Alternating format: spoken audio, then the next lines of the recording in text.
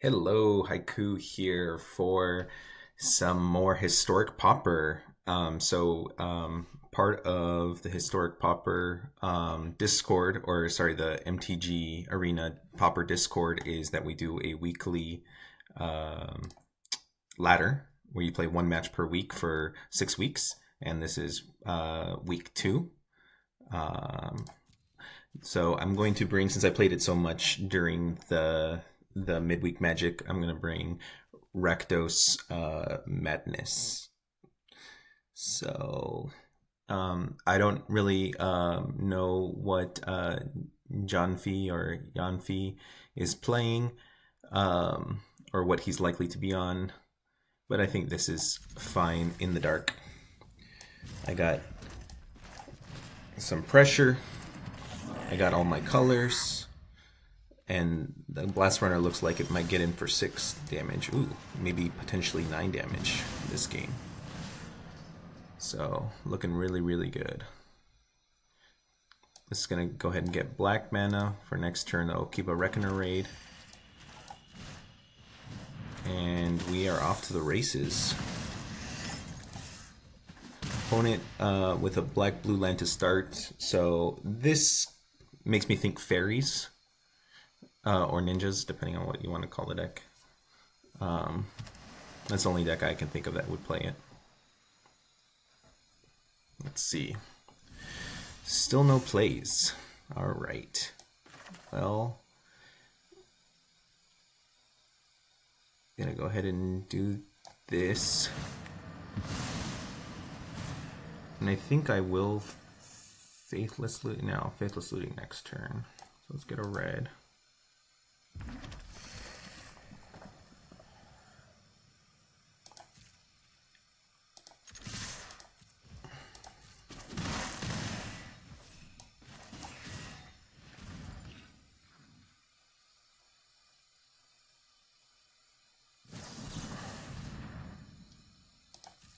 Okay, still makes me think fairies. So I have, and the fact that, so if he doesn't play anything, I'm going to go for Sphere. Okay. It is, it is ninjas.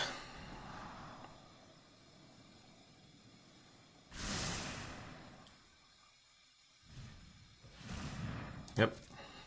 Just had a, a slow start, I guess. So I'm thinking about dumping the fist the fist sphere right now.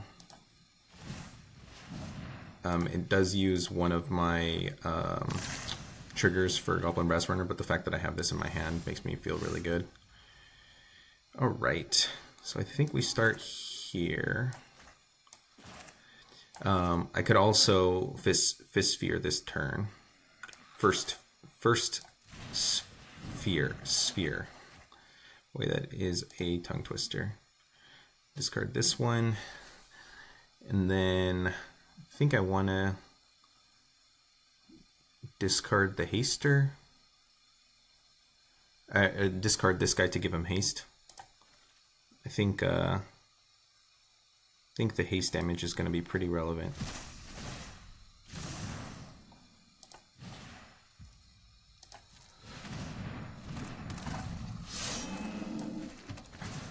Okay. So let's just get another black producing land. And let's attack in.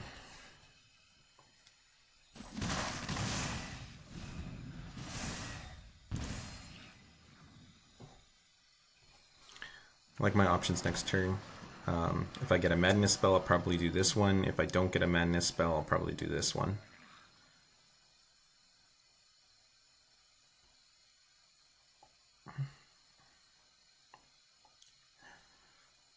Like the amount of pressure I'm putting on the opponent. It's going to make it really difficult for him to attack a ninja in, although it looks like he's deciding to do it.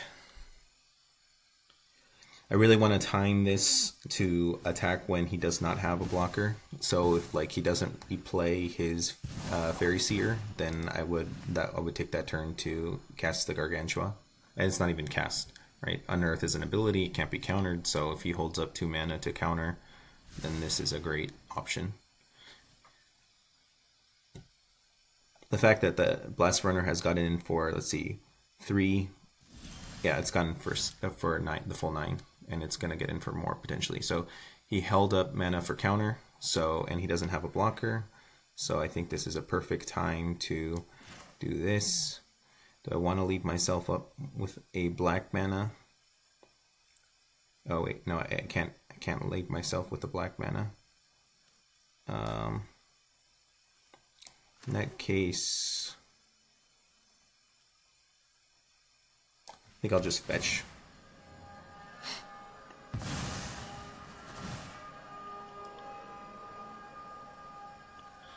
Uh, I have another red. Yeah. Okay.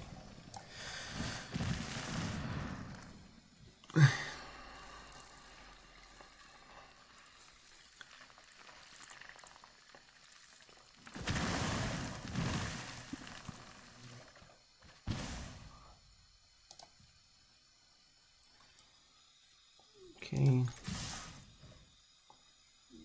Presenting lethal. Figure he has a removal spell for my Skophos Reaver. Um, and then he's on one life, and then my Voldaren Epicure can win the game. Yep.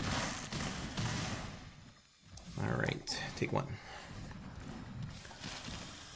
Alright. It's generally how I expect these games to play out.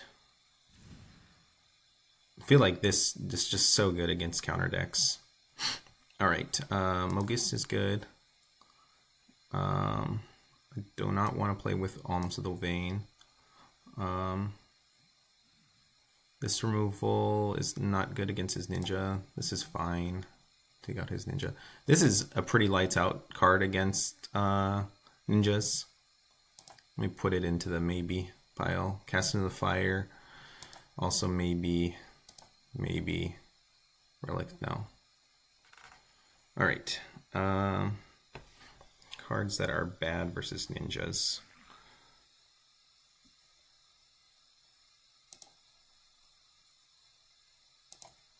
Actually, what I said about the Unearth still holds for that. Oh, Undercity's Embrace, definitely not a good card.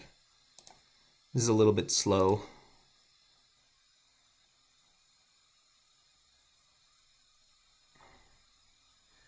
Um,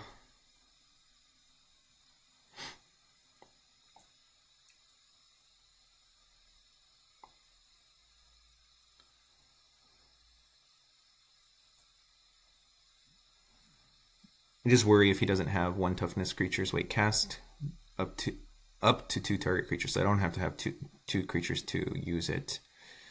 Um, versus Terminal Agony.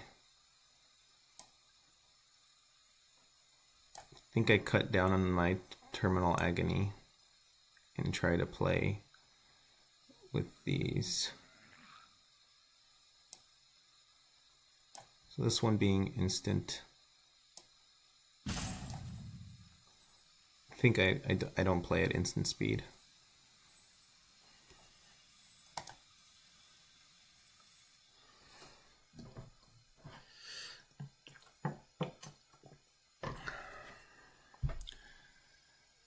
Let's see if uh, Trespasser's Curse shuts down the opponent as much as I think it does, or if I would have just rather a removable spell. See, that's that's what the trade-off I made is play Trespasser's Curse over removal, yeah, I'm actually doubting that that Trespasser Curse was the way to go. Oh, this is another going to be a great hand where Blast Runner should do work. No removal, so he's going to be able to ninja ninja away, but um, I think I'm okay with him ninjaing as long as he doesn't get rid of my Blast Runner. Represents so much damage. But yeah, I, I think um, Trespasser's Curse is a little bit too cute. Uh, I, th I think I want removal. Eh, maybe not. It's a really close call. Because there's plenty of board states where obviously Trespasser Curse is, is awesome. but I think it's more of like a win more card where a removal spell just can be just generically good in the deck. All right. Um, I can play Blast Runner, trade with his uh, Ninja. Yeah, seems good. And then I can start uh, killing his stuff. Probably never want to kill the Lantern Bearer.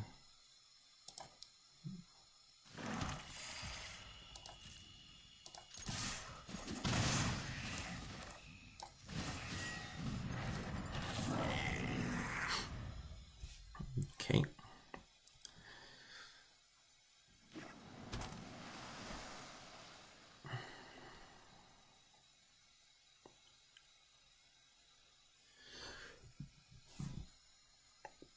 I will take uh, the trade here, um, since I don't have another enabler for the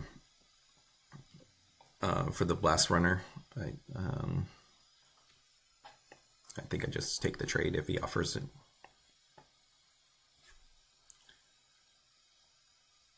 This one is this ninja is uh, not as scary as the other ninjas. Um, as far as getting back in and out. Yeah, this is a solid card in a in a deck that's trying to beat down. Um, ooh. Tap sacrifice deals three damage. I don't know what the value of this card is. There's plenty of better stuff to do. It doesn't involve. All right. Um, so uh, I can I basically I just want to make a blocker for his fog walker, which is here. Kill his flyer. Oh, wait, no, if I kill his flyer, then then his fog walker can get in. But uh, I think that's fine. Um, it can get in, uh, and then if it gets bounced, then it's then it's done with. Uh,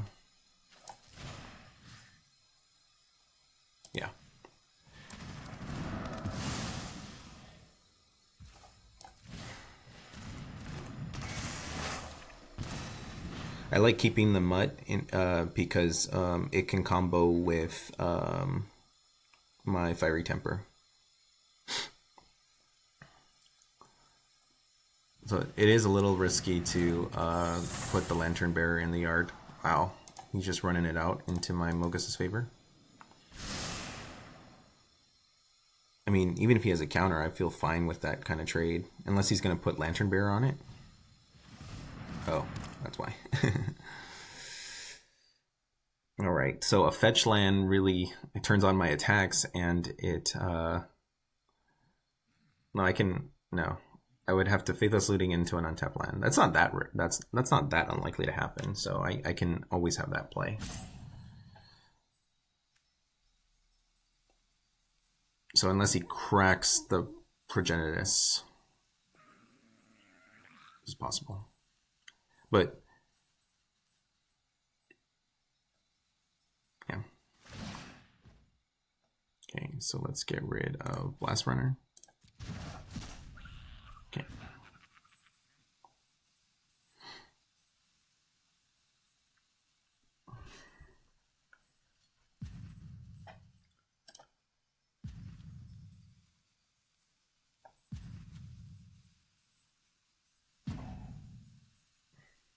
Yeah, I, I don't know what his thinking is with this card. There's some combo I'm missing. Uh, so I could scrap your mutt, kitchen imp, or I could just go for the goose gusto and uh, faithless looting.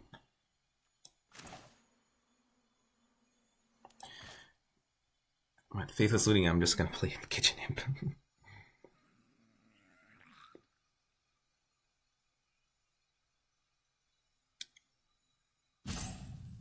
Uh, Scrapyard Mutt doesn't get in. Maybe I won't play Kitchen Imp. Wow, no land. Okay, here. And here, since I didn't get any land.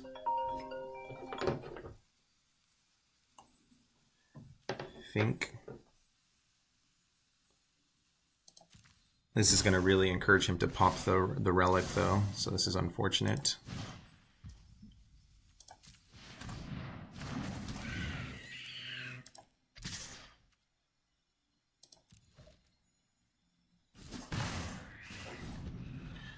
Right, a 2-2 2-2 creature is pretty good against him.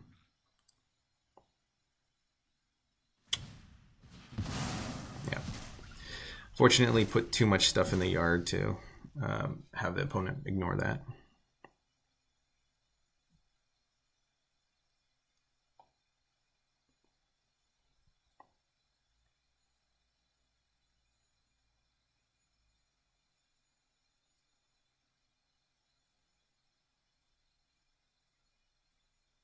A lot of choices on both sides here. It's, it's very tight right here.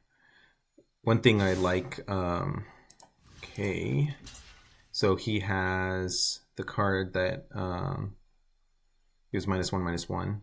That's fine. Okay. Or maybe he has another Fog Walker.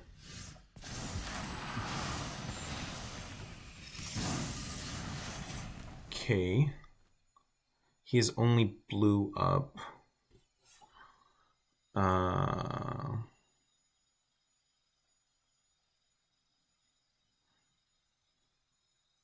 I have another blocker. Do I Vampire's Kiss? Vampire's Kiss, does it put lethal? I deal 8 damage? No, it doesn't quite put lethal in play. So I think I just uh, double spell this turn.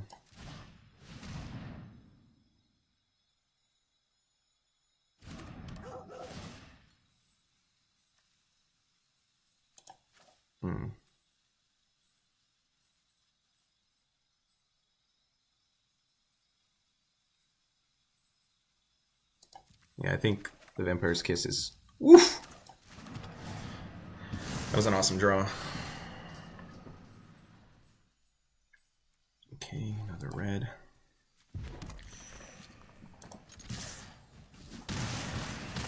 So that was a really hard choice of what to discard. I, I think it's right to play the Scrapyard Mutt and then see if he counters, um, because then then I have it in the yard.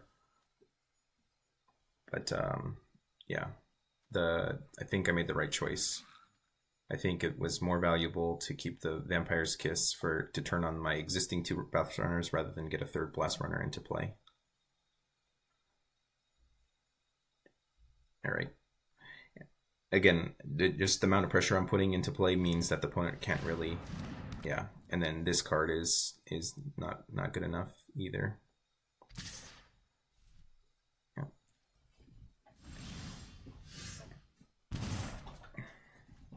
Okay so this then I'm going to discard the faithless looting so I play around counter.